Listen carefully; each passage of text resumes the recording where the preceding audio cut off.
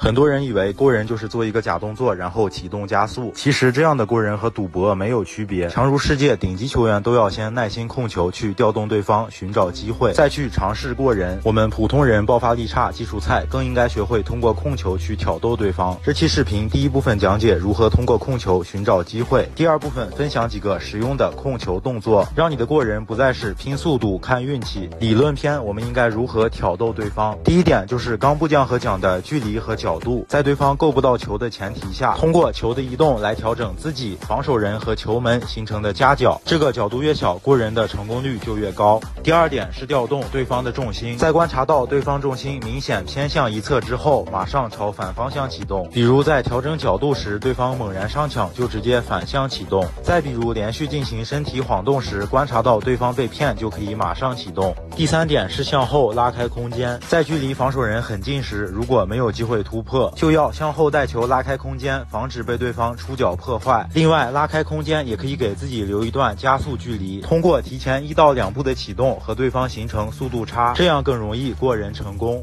第四点就是转身，如果受到的防守压力太大，或者控球失误，又或者启动没有完全甩开对方，最好选择直接转身护球，不要再冒险强行过人。而在背身拿球时就会比较被动，最好先转身面朝进攻方向，再尝试过人。复习一下，过人前的控球有四个目的：调整进攻角度，移动对方重心，向后拉开空间，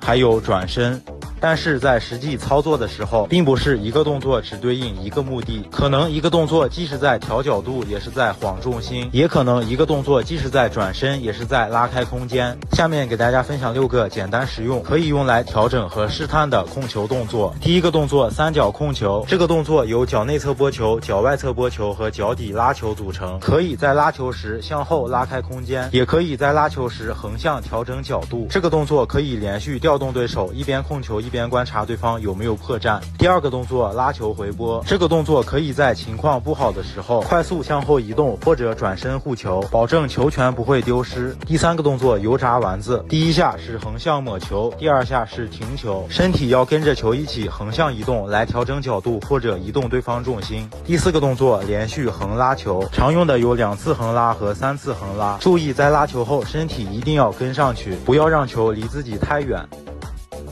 第五个动作拉球单车，在被对方贴身的情况下，这个动作可以帮你获得转身的空间，非常实用。最后一个动作马赛回旋，在启动没有甩开对方时，可以转身护球；而在背对进攻方向时，又可以快速转身。只要练好以上几个动作，然后把它们任意组合，就可以在不丢球的前提下调动防守人，寻找突破机会。希望大家明白，要想提高过人能力，一定不能平常随便练一些基本功，想着到了场上再去灵光一现，必须要提前思考场上可能遇到的情况，然后针对性的设计训练动作，要清楚的知道每一个动作的作用和。使用场景，有些人没搞明白一个动作的目的就瞎练，还有些人到场上做一堆没有目的性的动作，就是因为没有根据特定场景来设计训练。以上就是今天视频的全部内容，我们下期再见。